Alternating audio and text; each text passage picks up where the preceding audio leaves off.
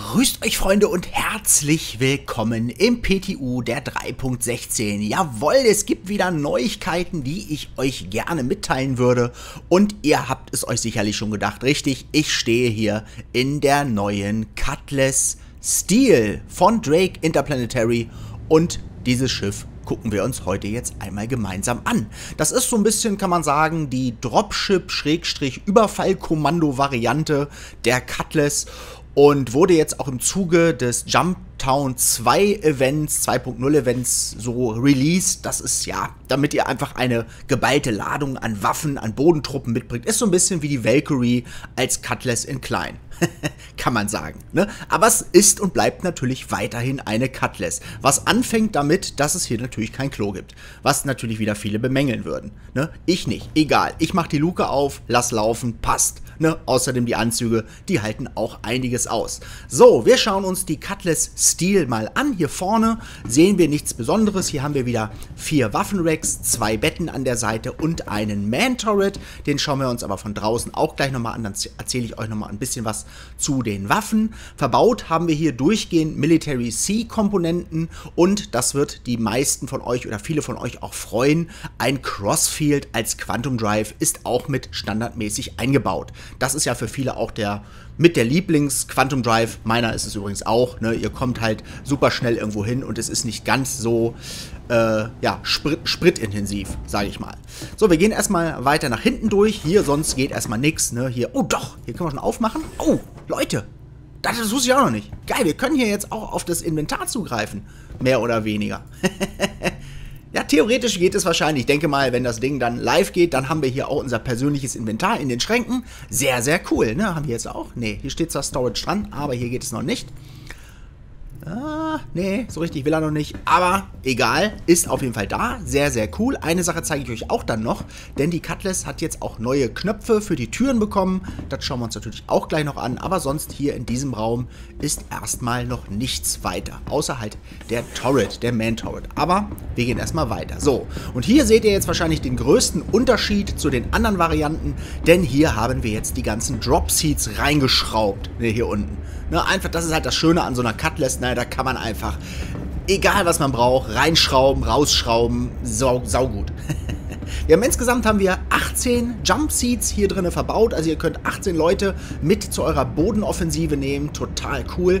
Ne, ansonsten haben wir hier natürlich wieder unsere Knöpfe, wo wir die Türen aufmachen können. Und was jetzt auch besonders ist an diesen Varianten, sind diese Yellow Jackets, die wir hiermit dann rufen können. So, dann fahren die so rum. Und dann haben wir hier zwei an der Seite, können da rangehen und richtig Rambo-Zambo machen hier. Guckt euch das an. Geil, oder? ja, das ist eigentlich ballistische Munition. Ich weiß nicht genau, ob die leer geht oder ob wir hier jetzt ohne Ende schießen können. Abgesehen davon haben wir natürlich auf der linken Seite unseren Munitionsvorrat. Aber es wäre natürlich ganz schön, wenn wir auch sehen würden, was wir letztendlich hier verballern. Ne? Aber vielleicht kommt das halt, wie gesagt. Das ist erstmal hier der First Look. Ne? Ich bin auch gerade erst, äh, habe das gerade erst erfahren, wollte natürlich gleich ein Video machen. Ne? Sehr, sehr geil. Ich denke mal, wenn wir jetzt hier zumachen würden, würden die automatisch erstmal wegfahren. Genau, und dann geht die Tür zu. Sehr, sehr cool. So habe ich mir das gedacht. Das gleiche gibt es auf der anderen Seite ebenfalls wieder eine Tür und wir haben hier links und rechts wieder diese Turrets an der Seite. Nachteil, aber das ist halt Drake, ist, die hängen draußen und können natürlich beschädigt werden, auch wenn wir sie nicht benutzen. Ne? So. Aber ja, das ist halt wie gesagt Drake. Und auch hier hinten haben wir noch so eine Gatling. Ne, die können wir dann hier wieder, können wir wieder das Tor aufmachen. So, und dann können wir hier die Gatling benutzen. Wir müssen sie aber dann erst auch wieder hier deployen. Also hätte ich mit der Hand jetzt auch noch hingekriegt. So, und dann können wir auch hier hinten, äh, können wir dann die Feinde abwehren, bevor dann unsere Truppen raussteigen. Auch sehr, sehr cool. So, eine Sache wollte ich nochmal probieren ganz kurz, weil ich das jetzt zumache. Dann fährt der in seine Position, aber ich probiere das mal hier an dieser Tür. So, und zwar mache ich das mal zu. Kann man hier eigentlich locken? Ne, locken kann man anscheinend noch nicht. Und jetzt deploy ich mal. Mal gucken, ob er die Tür dann gleich aufmacht. Ja, so muss das sein. Das ist auf jeden Fall immersiv. Und äh, das ist auch logisch und das ist auch sehr, sehr gut durchdacht. Ne? Muss man nicht erst auf, deploy, deploy, zu. Ne? No, man kann einfach das machen, was man will. Sehr, sehr cool. Ja, dann würde ich sagen, kommen wir mal zu den Waffen. Diese ganzen Teile hier, die hier drinne hängen, also 1, 2, 3, 4, 5 draußen, das sind Je Yellow Jackets GT200 10 Gatlings die sind hier draußen rangeschraubt. Das ist Size 1, ne? logischerweise ne? mit der Hand. Ne? Wir sind ja alle nicht Rambo. Ne? Der könnte natürlich Size 5 tragen, auf der Schulter zweimal, keine Frage. Aber wir sind das halt nicht, deswegen müssen wir hier mit Size 1 auskommen. Aber das ist nicht alles. Und dazu gehen wir jetzt mal kurz in die Außenansicht. Übrigens möchte ich euch nach diesem Schiff noch eine Kleinigkeit zeigen. Deswegen bin ich ja auch schon mal zu Calliope gesprungen. Ich bin mir aber noch nicht sicher, ob ich das finde. Ne? Deswegen müssen wir da mal schauen. Wenn nicht, ähm, ja, dann, dann zeige ich es euch halt nicht. Aber wenn ich es finde, dann ist geil. so, wir gehen mal in diesen Torret und da gibt es jetzt auch einen kleinen Unterschied. Und zwar ist das ein Torret, wo ihr mit in den, muss ich erstmal ganz kurz finden, genau, in den hinteren Remote Torret kommt. Denn hier gibt es jetzt einen hinteren Remote Torret, den zeige ich euch gleich auch nochmal in der Außenansicht. Hier habt ihr zweimal Size 2 CF227 Batcher Laser Repeater dran und könnt hier hinten ebenfalls ordentlich das Feld aufräumen. Wenn ich jetzt in die Außenansicht gehe, dann geht der glaube ich wieder in den Innenraum. Ja genau, aber hier könnte ich dann jetzt in die Außenansicht gehen und da hinten hängt der dran. Jetzt ein bisschen ungünstig gedreht wegen der Sonne, ne? aber ich glaube ihr wisst, ihr habt ungefähr eine Vorstellung, ne? da hinten an dieser kleinen Spitze da ist der Turret dran. Sehr, sehr geil. So, dann haben wir hier oben noch den Man-Turret. Da muss ich jetzt nicht extra einsteigen, das kann ich euch auch so zeigen. Das äh, sind, ist eine Size größer, das ist zweimal Size 3 CF337 Panther Laser Repeater. Genauso wie bei der anderen Cutlass, da hat sich nichts geändert. Auch sehr, sehr geil, sehr gut bewaffnet. Und dann haben wir hier oben drauf, links und rechts neben der Kanzel, da haben wir dann noch zwei Gatlings. Das sind Scorpion GT 215 Gatlings, ebenfalls Size 2 gegimbelt. Das heißt aber, ihr könnt die abnehmen und dort dort auch eine Size 3 Waffe raufbauen. Und apropos Gimbal abnehmen, auch hier unter sind zweimal Size 2 gegimbelte CF 227 Batcher Laser Repeater an den Flügeln hier unten drunter und auch diese könnt ihr abschrauben und Size 3 Waffen drunter bauen. Und dann ist das Ding schon echt ordentlich gut bewaffnet. Ne? Aber was es halt sehr besonders macht, sind natürlich die Bodenabwehrmaßnahmen durch diese Yellow Jackets und auch hinten durch diesen Remote Turret. Ne? Das macht es halt besonders. Die anderen Waffen sind, glaube ich, relativ gleich zu den anderen Modellen, beziehungsweise zur Cutlass Black, die ja jetzt nicht schlecht bewaffnet ist.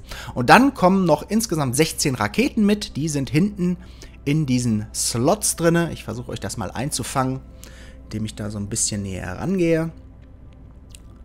Ne, hier auch die, die, ja gut, das ist der Tankstutzen da an der Seite. und da sitzen diese Raketen drin. Ne, da hinten seht ihr sie schon. Ne, in diesen Slots auf beiden Seiten. Ne? Und das sind äh, 8 mal Size 2, Tempest 2, das sind, sind diese kleinen. Und dann haben wir noch 8 mal Size 3 Arestar und das sind diese spitzen Dinger. Ne? Sehr, sehr, sehr, sehr cool ja, die Cutlass Steel. Ne? Alles so ein bisschen auch, warte mal, ich hole ich hol uns mit der Kamera mal wieder ein bisschen raus hier. Alles so ein bisschen in so einem abgerockten Stahllook. Ne? Ich hoffe mal, wenn man die frisch vom Werk kriegt, dass wir dann so ein bisschen, ja, so ein bisschen polierteres äh, Stahl haben. Das sieht bestimmt auch mega cool aus, ne? wenn du so ein, ein Schiff hast, was so richtig hochglanzpolierten Stahl hat. Wirkt das, glaube ich, ziemlich cool. Aber auch so, muss ich sagen, gefällt mir das relativ gut. Die wird wahrscheinlich wie alle Cutlass-Varianten auch noch einen Traktor-Fangstrahl bekommen hier vorne. Ne, da gibt es ja noch diesen Traktor-Assess oder Recess, der, ähm, oder Access. der ist aber noch nicht drin. Und ich denke mal, aber der wird auf jeden Fall noch, ja, irgendwann rangebaut werden. Ne, da gibt es dann noch mehr. Ansonsten vom Landefahrwerk ebenfalls genauso wie die anderen Varianten hier vorne. Ne, dazu müssten wir jetzt aber erstmal ganz kurz nochmal in den Pilotensitz gehen und dann werden wir uns nochmal runter nach Calliope begeben und dann hoffe ich, kann ich euch noch eine andere Sache zeigen. So, ja, mehr gibt es zu diesem Schiff jetzt erstmal eigentlich gar nicht zu sagen. Ne, das ist die Cutlass Steel, also die Cutlass-Freunde, so wie mich, die werden sich natürlich freuen, das geht immer noch nicht. Und äh, ich bin auf jeden Fall gespannt, was da jetzt noch an Cutlass kommt. Ich dachte eigentlich, das war's. Ne? Aber vielleicht gibt es ja irgendwann noch mal so ein Forschungsschiff oder, ja, keine Ahnung. Bin echt, bin echt gespannt. Ne? Ja, hier vorne haben wir dann natürlich auch noch Waffen, genau, das sind die, ne, die ich gerade gesagt habe, diese Batcher Laser Repeater und die Scorpions Gatlings, ne, die könnt ihr wieder, das sind die Batcher Repeater. Und bei Waffengruppe 2 habt ihr dann die Gatlings, die sind natürlich begrenzt, ne, die sind irgendwann alle, da müsst ihr damit haushalten, aber ich würde mir das Ding eh umbauen in Size 3 und wahrscheinlich würde ich nur Laser Repeater drauf bauen, das ist eigentlich für die Cutlass schon sehr, sehr stark. So, was wollte ich euch noch zeigen? Können ja mal ganz kurz gucken, was er macht, wenn wir jetzt die Raketen aufschalten. Aber da passiert nichts. Die sind so oder so offen. Ne? Das heißt also, wenn euch da jemand trifft, das wäre wahrscheinlich nicht so gut. und ähm, genau, wir haben hier VTOS Thruster dran, ne? wie halt bei jeder Cutlass-Variante. Die könnt ihr dann extra runterstellen zum Fahrwerk. Das könnt ihr natürlich auch extra bedienen ne, fahrt ihr raus. Aber das ist jetzt auch nichts Neues oder nichts anderes wie bei den anderen Cutlass-Varianten. Ja, sehr, sehr geil. Und da draußen sieht man halt, hängen halt diese Yellow Jackets an den Seiten, an den Türen. Ne. Ja, wie gesagt, ist halt ein bisschen empfindlich, ne, wenn man da jetzt ähm, beschossen wird von außen und die abgeschossen werden, dann ist doof, ne? Aber gut, dafür ist es eine, eine, eine Drake Cutlass und äh, da kann man halt nicht so viel erwarten. Die wird dann, denke ich mal, oder bin ich mir ziemlich sicher, mit der 3.16 live gehen. Dann wird man sich die auch erwerben können. Ich kann mir sogar vorstellen, dass es die auch mit einer Lifetime Insurance gibt, weil es ja kein Konzept ist, sondern ein Flight-Ready-Schiff, was vorher nicht angekündigt wurde.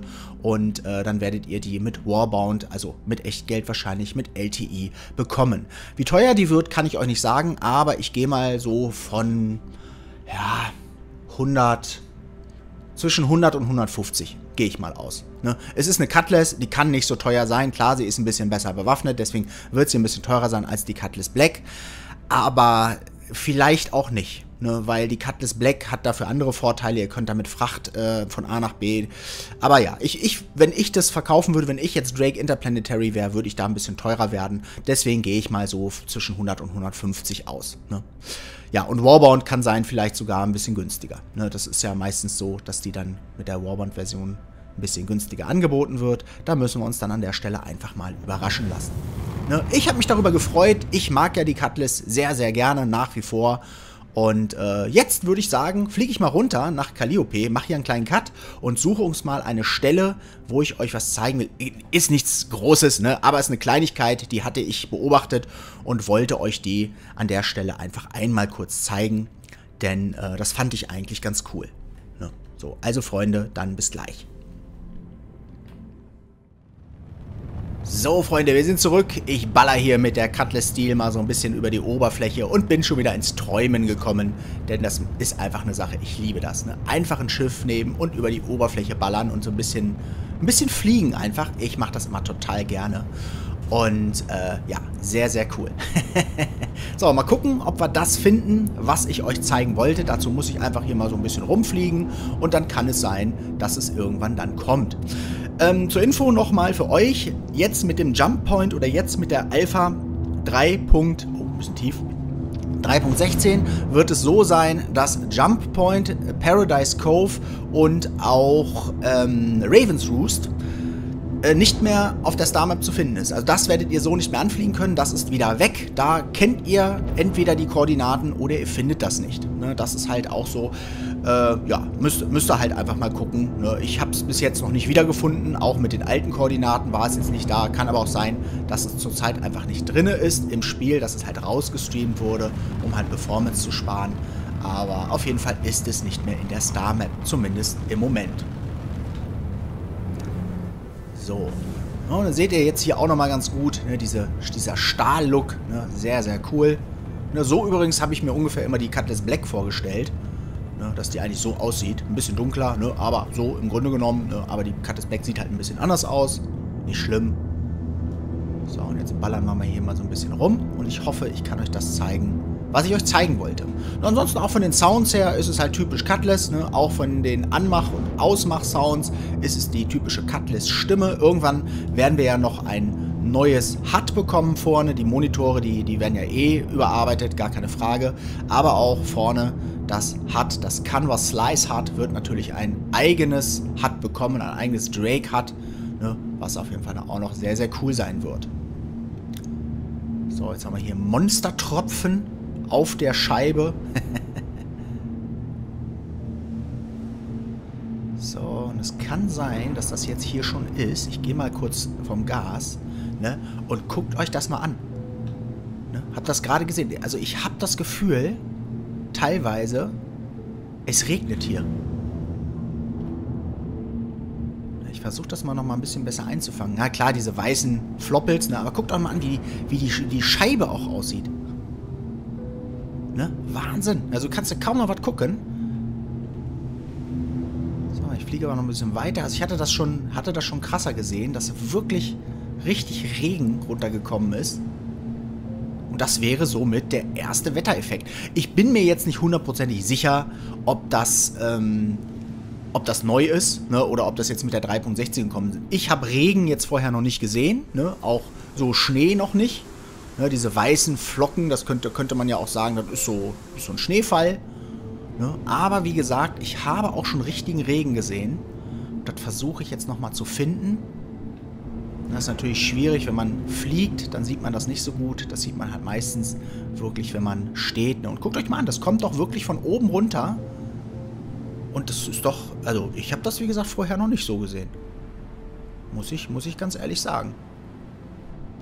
Ne? Aber wie gesagt, das ist nicht das, was ich euch zeigen wollte. Eigentlich, eigentlich war es wirklich ein richtiger Regenschauer. Den suche ich jetzt nochmal. So,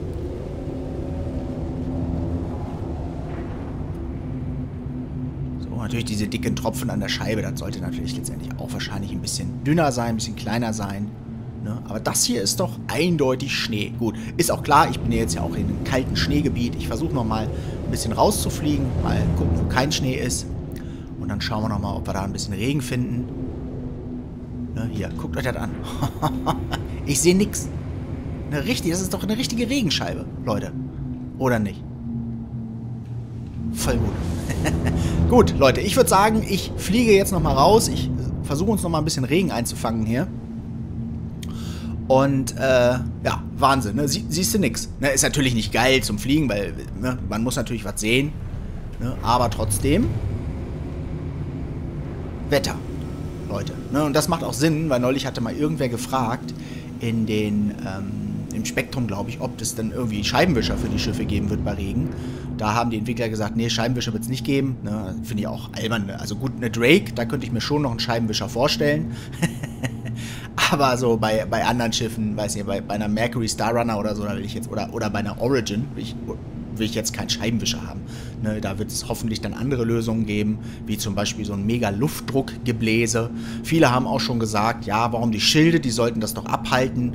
Ja, aber ich glaube, kein Regen. Die Schilde sind ja eigentlich nur gegen Energie und nicht gegen wirkliche, ja, ich sag jetzt mal, ballistischen Regen. und äh, deswegen denke ich mal, dass da die Schilde jetzt gegen Regen nichts machen werden. Aber ganz ehrlich, die Entwickler werden sich da schon was ausdenken, dass wir hier über die Monde ballern und nichts sehen vor Regen. Das, äh, denke ich mal, wird nicht passieren. Deswegen äh, bin ich da mal gespannt, was da kommt.